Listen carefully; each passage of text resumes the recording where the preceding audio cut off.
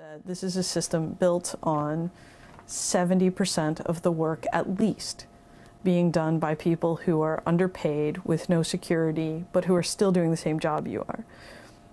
The colleges are looking at that, the college administrators look at that, and they know if we can get it cheaper, why wouldn't we go this route? But yeah, the job itself, I love the work. I love the students I work with, um, my coworkers I love.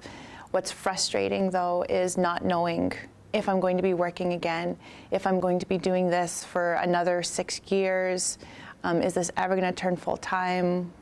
Um, depending on my contract, I may or may not have benefits. Um, and you're trying to support a family. I am, yeah, and that's another thing I have to consider for my children. Is I have three. Um, they're all very young right now, so trying to put them in programs is sometimes difficult. Um, saving for their education. Sorry. It's okay.